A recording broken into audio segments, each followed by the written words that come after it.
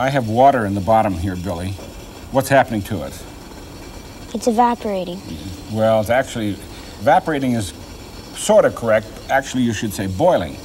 Boiling and evaporation are pretty much the same, except boiling takes place faster. You have heat down below. How do you know it's boiling? Because you got the stove on. I see. I thought maybe you were going to look at the little spout there. Wow, there's steam coming out. Oh, wait a minute, wait a minute, wait a minute. What? There's steam coming out. How do you know?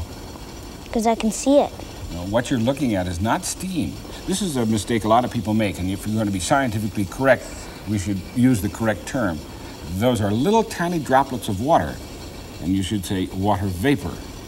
Steam is right here, right at the end of the spout. Can you see it?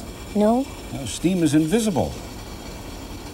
See, when you change water to steam, it's actually in the gas form, the molecules are dashing all around they're not together. When you put them together, you get this stuff, which is water vapor. Let's change the water vapor back to steam, and I think you'll see. How do you do that? Well, all you have to do is take the stove and hold it under the water vapor and heat it up again. Here you go.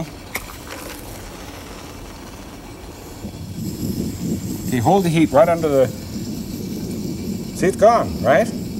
Where'd it go? Yeah, because you're heating it up and changing it back to steam. Now take it out of the way. There it is. Showing that we're heating those little uh, droplets and changing them back to steam again. So the next time you see that white stuff coming out of a tea kettle, what are you going to say it's called? It's water vapor. Right.